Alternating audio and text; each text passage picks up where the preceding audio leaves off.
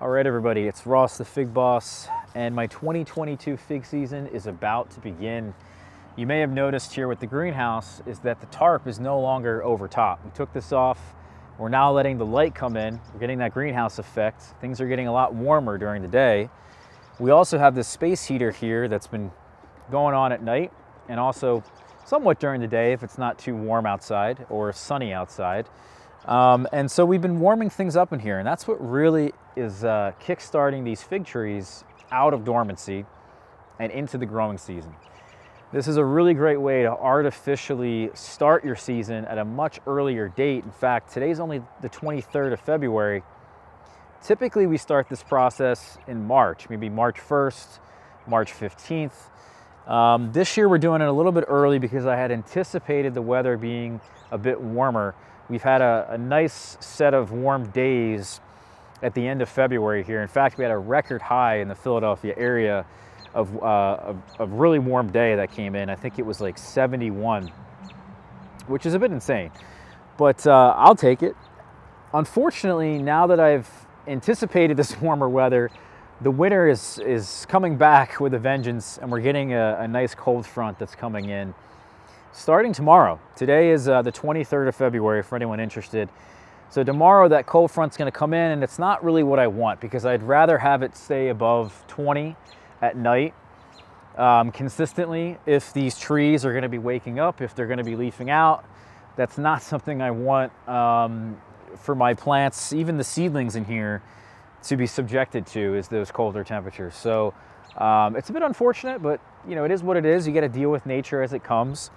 In this video, I'd like to tell you guys about some things that I'm doing that you should do and pay attention to now that you're, you're potentially starting your fig season. Um, you're doing something similar to me with this artificial waking up process.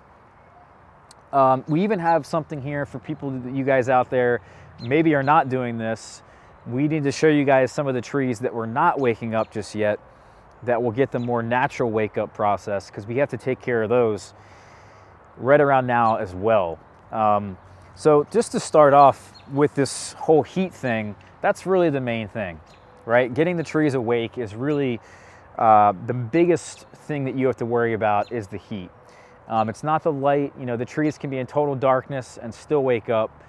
Uh, you need to give them plenty of soil moisture actually at this point as well. We turn the water on at the house outside so that I could actually water these trees in the greenhouse. Got the hose over here, connected everything up, watered every single potted tree in here for an extended period of time. As much water as I could stand and give them. Saturate the soil because we need to rehydrate those roots. That's also critical for that wake up process. So it's really just about those two things.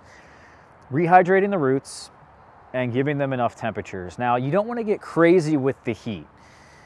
That's a thing that people fail, and I failed with last year with the tunnels. We're going to talk about the tunnels as well. Forgot about that.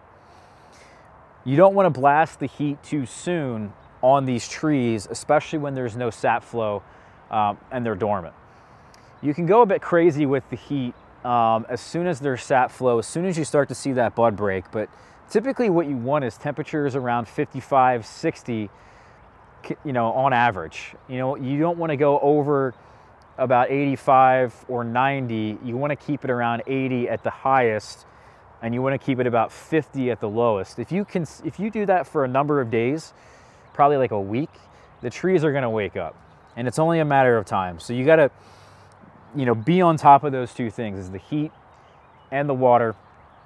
The other thing I would just suggest because this is the beginning now, they're going to be awake very soon you know, I've, I've had this heater on now for about five days. You want to feed the trees as well. Um, now that it's the beginning of the season, it doesn't matter if they're in the greenhouse, doesn't matter if they have a natural wake up process that, and then they go on the patio. They're now in the active growing season, and if we give them the right amount of nutrients and the right amount of water, from day one, day one of the season, we're gonna have the best results by the end of the season. So we need to make sure the food is critical. I don't really care what food you give it. I don't care if it's uh, organic, inorganic, what the nutrient you know complex is. Just give it something and be you know, time it so that it's now. You know, don't give it organic fertilizer now necessarily because that stuff takes time to break down. It's got to be a fast acting organic fertilizer or a synthetic fertilizer that happens right away. You know, a soluble liquid fertilizer, um, even the, the slow release pellets I use all the time.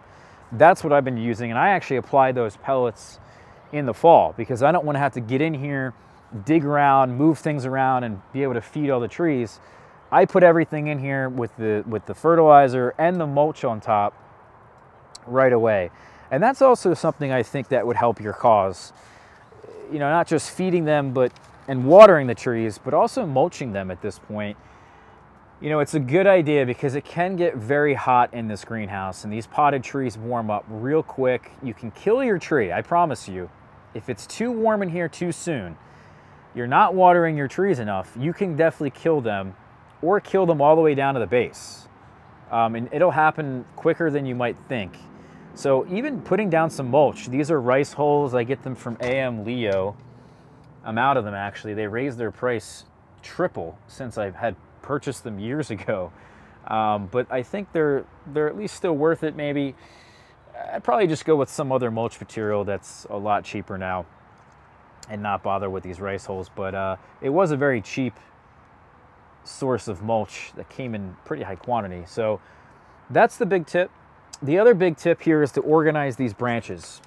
We want to make sure that these branches are being placed in a way away from each other to maximize the amount of light that they can get. Yeah, there's a lot of branches in here. There's a lot of trees in here.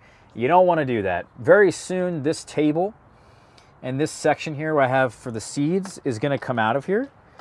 This isn't going to be in here forever. I'm just starting my broccoli, my cool loving crops, and I'll be able to make use of this area. It's a fourth of the greenhouse that I can't use right now. So I will be taking these trees off of their, their stack here and moving them to where this table is in order so that they can get enough light.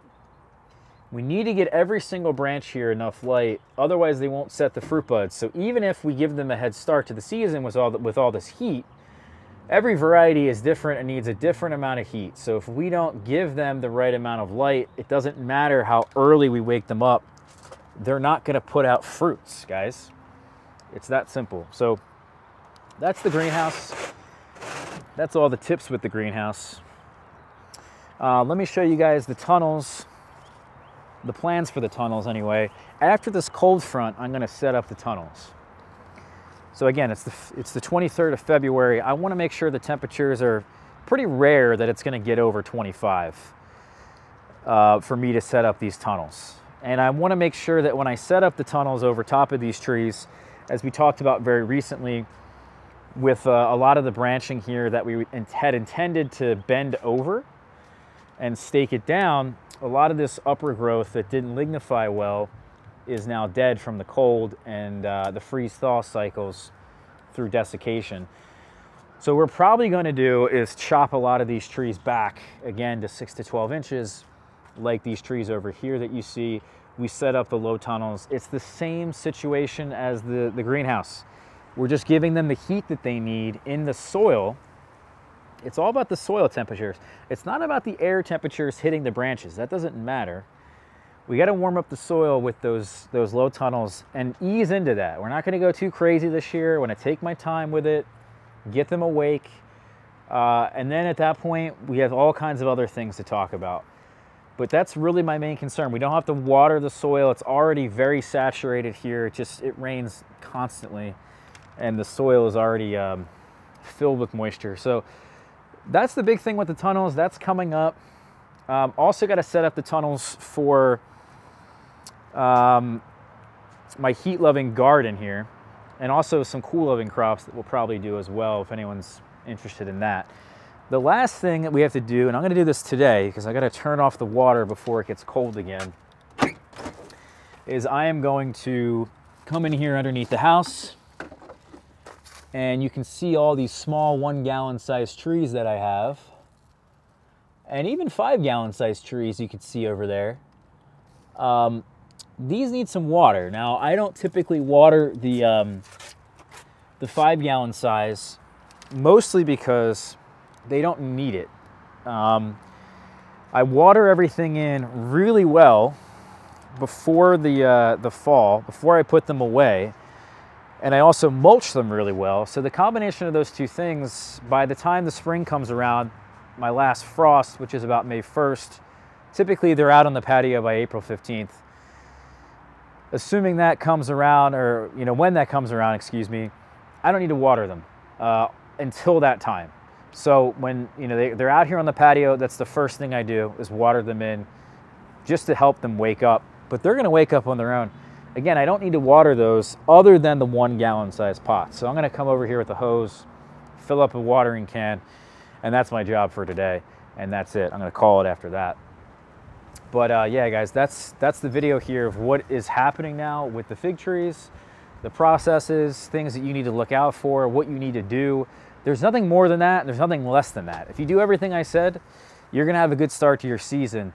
Uh, what you don't want to do, by the way, is have your trees wake up in darkness. You want to have them wake up in full sun. So if you have a tree inside your house right now that's not getting enough light and it's awake, you need to find some sort of situation to salvage your season you can get it out in full sun.